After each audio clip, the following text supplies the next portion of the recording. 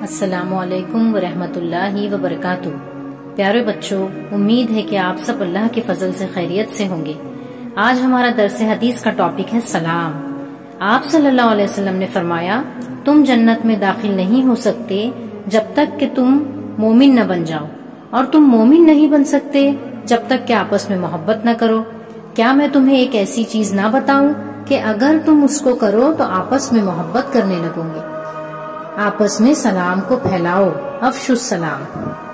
प्यारे बच्चों, क्या हम में से हर एक जन्नत में नहीं जाना चाहता? हर एक हम में से जन्नत ही में जाना चाहता है।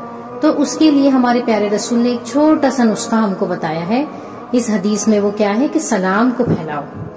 यानी इस हदीस में शर्त क्या रखी गई? जन्नत में जाने के लिए पहली शर्त कही गई कि मोमिन होना चाहिए। है ना? जन्नत में जाने की पहली शर्त क्या है कि इंसान जो है वो ईमान वाला हो, वो मुसलमान हो।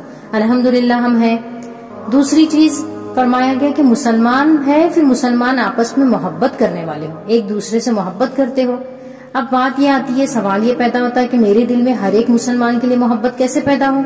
मेरे रिश्तेदारों के लिए, मेरे पड़ोसियों के लिए फ्रेंड्स के लिए बिल्डिंग वालों के लिए, तमाम मुसलमानों के लिए। तो मोहब्बत पैदा करने का नुस्खा बता दिया गया है कि सलाम करो। जिसको देखो, जिस मुसलमान से मिलो, उसको सलाम करो, सलाम को फैलाओ। मुस्लिम माशरे में प्यारे बच्चों, बड़ा, छोटे को, छोटा, बड़े को, हर एक दूसरे को सलाम करे। असल में सलाम करने से क्या होता है? खुलूस और मोहब्बत के इजहार का एक्सप्रेशन का एक तरीका है ये, एक वे है मोहब्बत एक्सप्रेस करने का। जब हम किसी को सलाम करते हैं ना प्यारे बच्चों तो हम क्या दुआ देते हैं? असल में हम कहते हैं उसको कि आप पर सलामती हो। May Allah peace be upon you है ना? इससे क्या होता है? आपने किसी को दुआ दी है कि अल्लाह की आप पर सलामती हो तो आपस में एतमाद पैदा होता है। हर एक दूसरे को अपना क्या समझता है? क्या ये मेरा हमदर्द है? ये मेरा खैर ख्वाह है? ये मेरा वेल विशर है? है ना? सलाम करने का तरीका क्या बताया गया? कुरान मजीद में अल्लाह ताला फरमाते हैं कि जब तुम्हें सलाम किया जाए तो उससे बेहतर जवाब दो, या कम से कम वैसा ही जवाब दो। जैसे अगर आप, मैंने आपको कहा, अस्सलाम वालेकुम तो आप क्या जवाब दोगे? वालेकुम अस्सलाम व रहमतुल्लाह एक ऐड कर दिया आपने। ठीक है? अगर किसी ने आपको कहा, अस्सलाम वालेकुम व रहमतुल्लाह तो आप क्या जवाब दोगे? वालेकुम अस्सलाम व रहमतुल्लाहि व और किसी ने आपको कहा, अस्सलाम वालेकुम व रहमतुल्लाहि व तो या तो आप सेम वैसे ही जवाब दे दोगे, वालेकुम अस्सलाम व रहमतुल्लाहि व या आप कहोगे, वालेकुम अस्सलाम, है ना?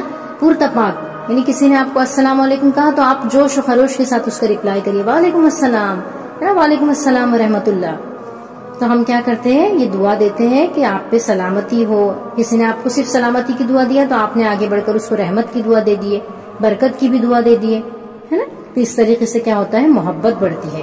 और फिर आगे वाले ने भी आपको जवाब दिया, है ना? और ज़्यादा आपको दुआएँ दे दी एक्स्ट्रा और फिर प्यारे बच्चों, सलाम के साथ साथ मुसाफा भी कर लिया करे। मुसाफा भी करने, सुन्नत है मुसाफा करना, हाथ मिलाना। और मुसाफा करके फिर हम क्या कहें? या फिर लना वलकुम अल्लाह ताला हमारी और तुम्हारी गलतियों को माफ़ कर दे। इससे क्या होगा? है ना? कुर्बत में मोहब्बत और बढ़ जाएँगी। ठीक है? और प्यारे बच्चों, क्या होगा? इस तरीके से हमारी किसी से झगड़ा है, कट्टी है है ना? हमने सलाम कर लिए फिर और आगे बढ़ के हम गले भी मिल लिए। हमारा दिल जो है वो एक दूसरे के लिए साफ़ हो जाएगा। और फिर फरमाया गया, सलाम और अच्छा कलाम करना बख्शिश का ज़रिया है। आपको पता है, आप सल्लल्लाहु अलैहि वसल्लम के साथी सिर्फ़ इस, इसलिए बाज़ार जाते थे कि ज़्यादा से ज़्यादा लोगों से मुलाकात का मौका मिलेगा और उनको सलाम करने का ज़्यादा से ज़्यादा मौका मिलेगा और उनको सलामती की दुआएँ भी मिलेंगी। है ना? सलाम जो है वो हर एक को करे। पहचानने वाला गैर और गैर पहचानने वाले, है ना? हर एक को हम सलाम करें। फरमाया गया कि पहचानने वाला और गैर पहचानने वाला हर एक दूसरे को सलाम करे, ठीक है? फिर आप सल्लल्लाहु अलैहि वसल्लम ने फरमाया कि लोगों में अल्लाह से करीब कौन है? जो सलाम में पहल करने वाले हैं। अल्लाह से करीब हमको होना है ना? तो सलाम में पहल करे। ये इंतज़ार ना करे कि वो आगे वाला हमको सलाम करेगा, है ना? फ़ौरन हम उसको सलाम कर दे। और अल्लाह के रसूल सल्लल्लाहु अलैहि वसल्लम ने आपके खादी में खास थे, हज़रत अनस रज़ी अल्लाह ठीक है? आपने हज़रत अनस रज़ी अल्लाह को क्या नसीहत फरमाई थी कि जब तुम घर में दाखिल हो तो घर वालों को सलाम करो। ये तुम्हारे लिए और तुम्हारे घर वालों के लिए बरकत का सबब होगा। आप सल्लल्लाहु अलैहि वसल्लम ने यहाँ तक की हिदायत फरमाई कि अगर तुम्हारे दरमियान कोई दरख्त, कोई ट्री, कोई दीवार या कोई पत्थर हायल हो जाए, फिर तुम अपने भाई से मिलो तो फिर उसको सलाम करो। है ना? जो सवार हो, वो पैदल चलने वाले को सलाम करे। पैदल चलने वाला बैठे हुए को सलाम करे। छोटा ग्रुप बैठा है तो वो बड़े ग्रुप को सलाम करे करे। बड़े ग्रुप को सलाम करे। जब कई आदमी हो तो एक साथ सबको सलाम किया जाए और सबकी तरफ़ से कोई एक जवाब दे तो ये काफ़ी है। मजलिस से, है ना, कोई मीटिंग हुई, कोई हमारी इज्तेमा हुआ, उससे रुखसत हुए होते हुए भी सलाम करना सुन्नत है। अब प्यारे बच्चों, सवाल ये पैदा होता है कि लॉकडाउन में तो हमको ऐसा कोई बहुत कम मौका मिल रहा है, लोगों से कम मुलाकात हो रही है तो हम कैसे सलाम करें, है ना? तो और सलाम को कैसे फैलाएँ?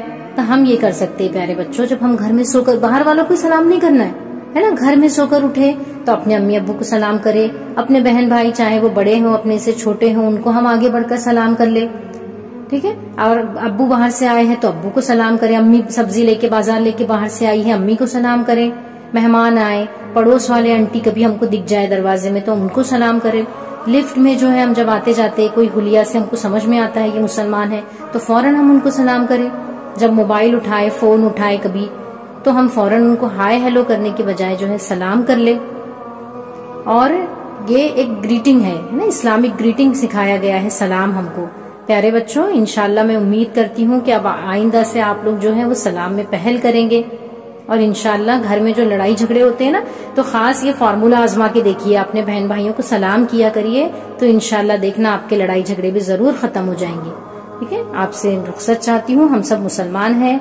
हमें सलाम का एहतमाम करना चाहिए प्यारे बच्चों, और सलाम के आदाब का ख्याल रखना चाहिए। इनशाला अगले हफ़्ते मिलेंगे। फ़ी अमान अल्लाह असलकम